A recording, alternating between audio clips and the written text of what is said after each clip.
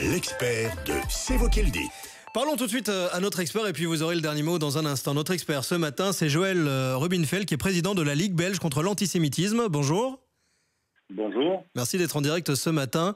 Vous avez découvert les euh, propos de cet élu bruxellois, propos tenus sur une chaîne saoudienne, qui compare le fichage dans le cadre du plan Canal au fichage par les Allemands. Vous appréciez la comparaison?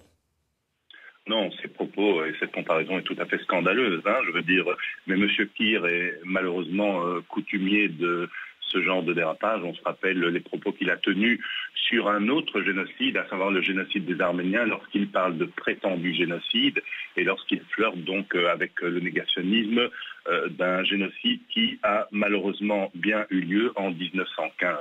Donc, Est-ce le jeu d'une campagne électorale? Mais écoutez, si on en arrive à utiliser ce genre euh, euh, de, propos, ce genre de, références historiques euh, dans le cadre d'une campagne électorale, je pense qu'on n'a pas sa place dans le jeu politique. Parce que lorsqu'on entend ce que M. Kier dit, lorsqu'il parle de fichage des enfants musulmans, qu'il fait référence au fichage des enfants juifs durant la Seconde Guerre mondiale, eh bien, il faut bien comprendre que pour M. Kier, alors, dans sa logique, c'est l'étape préliminaire au rafle, puis à la déportation et enfin à l'extermination. Donc je pense que soit M. Kir est un ignare, soit M. Kir est malveillant, mais dans les deux cas de figure, cette personne est indigne d'exercer une fonction politique. Il est possible d'y voir un début de comparaison possible ou euh, pas du tout? Euh, Mais la comparaison. Je vous pose la question parce qu'il assume les propos ce matin dans la presse. Oui, oui, il assume tout à fait. Je veux dire, mais la comparaison qu'il fait euh, à la télévision saoudienne est très précise. il met en parallèle ce qui se passe en Belgique faut quand même rappeler que le plan Canal a été mis en place suite aux attentats qui ont frappé notre mhm. pays ainsi que la France, et que la capitale, malheureusement, la capitale européenne du djihadisme se trouve précisément aux abords du canal, à Molenbeek en l'occurrence. Donc la comparaison qu'il fait est très précise, qui plus est assumée, donc c'est quelque chose d'inquiétant, mais probablement que euh, ce genre de propos euh, euh, trouve une certaine, un certain accueil favorable auprès d'un certain public. et moi je pense qu'au-delà de cet exemple-là.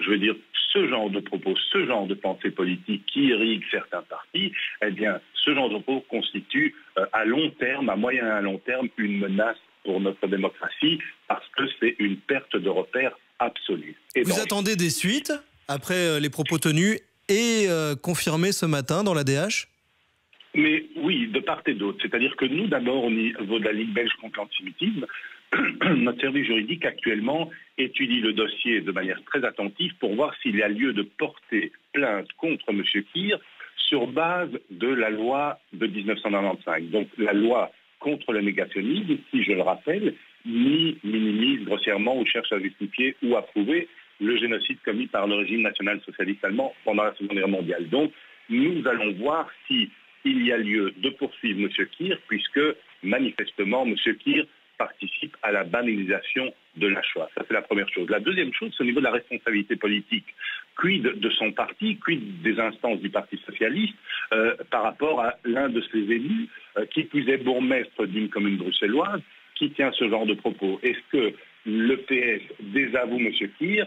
Est-ce que le PS euh, exclut M. Kir? Est-ce que le PS prend position sur ces propos qu'il a tenus à la télévision saoudienne? Donc, ça, la balle est dans le camp du Parti socialiste et de notre côté, au niveau de la Ligue belge contre l'antisémitisme, nous prendrons notre responsabilité dès que l'avis de notre service juridique sera rendu.